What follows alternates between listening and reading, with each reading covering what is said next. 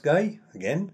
Uh, this is another installment of This Is Your Brain on Lockdown, where I do short videos where I try to explain certain aspects of the brain and what's happening to it during this coronavirus induced lockdown, which is a new experience for all of us.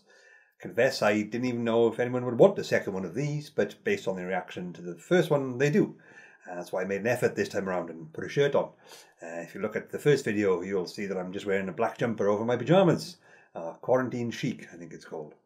Uh, also, uh, to heads up, I know it should be called This Is Your Brain in Lockdown, grammatically speaking, uh, but the title is inspired by the 1987 US anti narcotics campaign, This Is Your Brain on Drugs, uh, which has since entered the mainstream as a commonly used reference, so I felt some poetic license was acceptable. Uh, for any younger viewers, uh, the This Is Your Brain on Drugs campaign was a televised public service announcement in America aimed at discouraging people from using drugs by showing an egg being fried in a pan. And boldly insisting that this, the egg, is your brain on drugs. So you shouldn't do drugs because nobody likes fried eggs, I think. Uh, in any case, uh, it's wrong. Um, any drug that fried your whole of your brain like that would kill you in seconds. And it's really hard to get addicted to anything that causes instant death. So anyway, uh, a few days ago, I was a guest on the Cosmic Shambles Stay at Home Festival. Screenshot there. And one of the questions that came in for me was uh, from a concerned parent asking, How do I get my teenager out of bed in the morning? Uh, the obvious answer is, Why do you need to? Uh, we're under lockdown. Why is it important that teenagers, or anyone for that matter, gets out of bed bright and early at 8 am for a hard day's staying at home? Hmm. Nonetheless, it seems to be an increasingly common concern of parents of teenagers during this pandemic uh, that the absence of school or similar rigid schedules will mean they end up spending every morning in bed, and what should they, the parents, do about that? Now, here's the thing uh, from a strictly neuroscientific perspective, what parents should do is nothing. Don't wake them up. Let the teen sleep as long as they want or need to. Uh, this may sound this may sound utterly reckless and indulgent to many parents, but I promise you, it's science. Um, sleep is good and important. Uh, I don't think any I don't think any parents on earth would argue otherwise, particularly if your children of the younger sort like mine.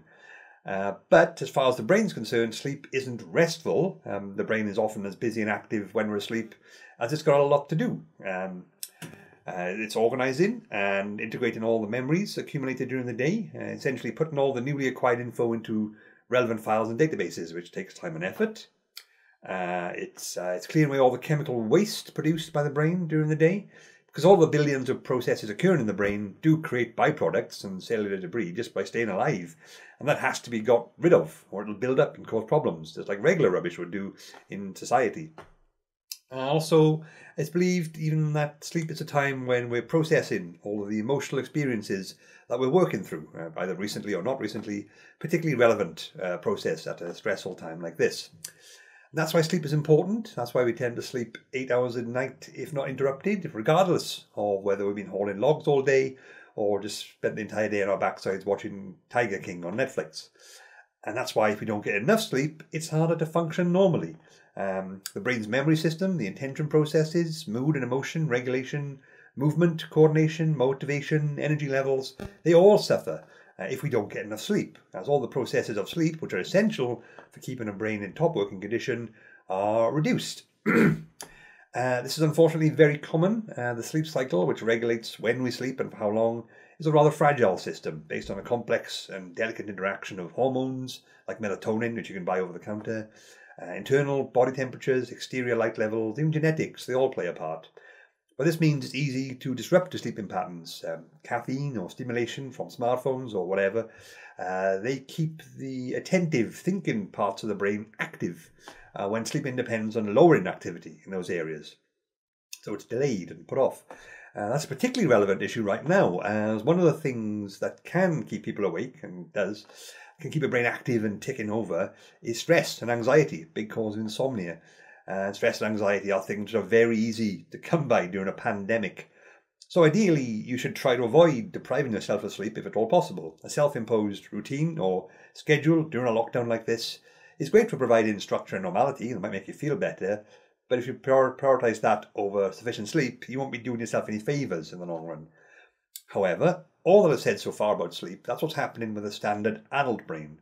For an, for an adolescent teenage brain, it's even worse again. Adolescence is when the brain and body undergo a massive overhaul. As we mature, all the different parts of the brain are being enhanced, uh, made more efficient, uh, excess connections are removed, and so on. And all these brain changes, or the disruption they cause, are usually sorted out and smoothed out during, you guessed it, sleep.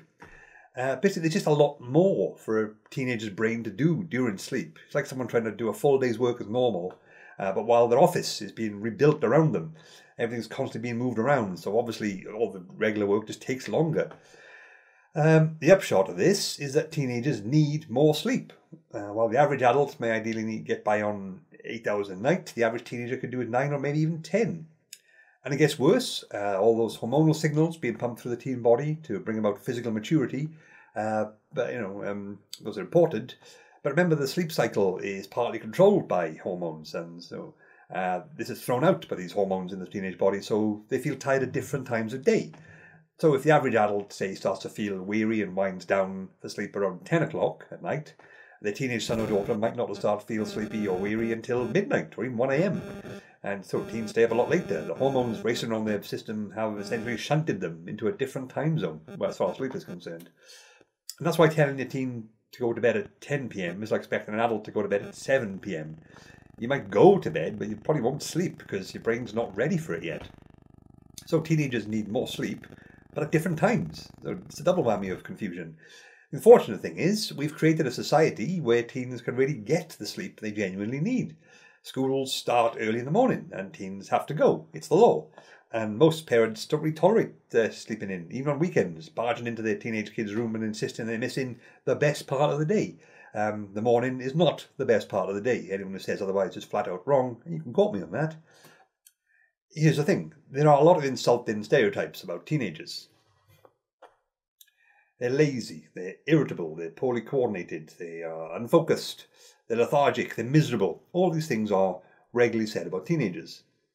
Uh, but you know what else they perfectly describe all these things? People who are sleep deprived.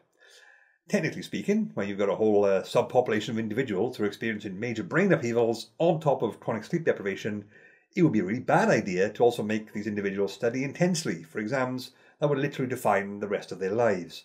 Nonetheless, that's exactly what we put teens through regularly. And yet, huge numbers of them do do it and do it well. From a neurological perspective, they should be applauded for this. They shouldn't be shouldn't be the bare minimum what we expect of them. Uh, so much so that enough the, if enough now, if enough teenagers do well in exams, politicians immediately start bang, banging on about how exams are too easy now.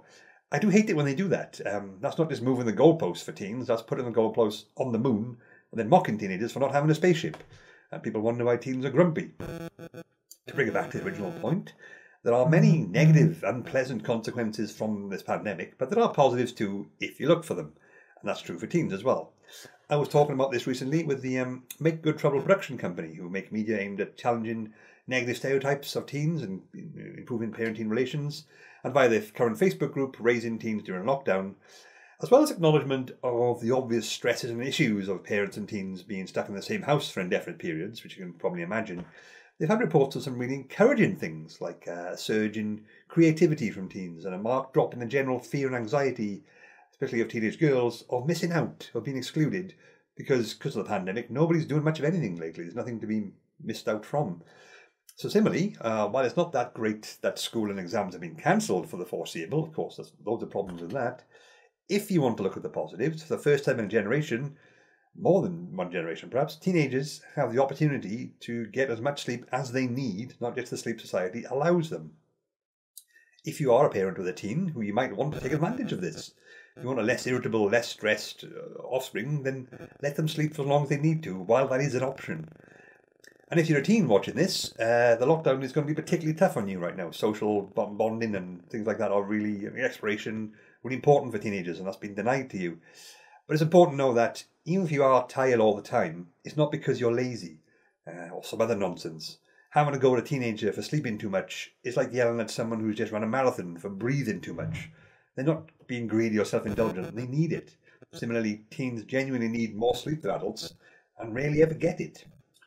And this is how your brain works. It's important to be aware of this now more than ever, because this is your brain on lockdown. If you uh, want to know more about this, I did a whole uh, chapter about it in my book, uh, Why Your Parents Are Driving You Up the Wall and What to Do About It. It's pretty relevant at the moment. And uh, did these other books as well. Um, if you're interested, just flagging them up. For now, uh, stay safe. Stay safe. Stay safe. Stay, in, stay indoors. Stay safe. Stay indoors. Wash your hands. And if you're a teen or have a teen who needs to sleep, please consider letting them. Who knows when you'll get this opportunity again.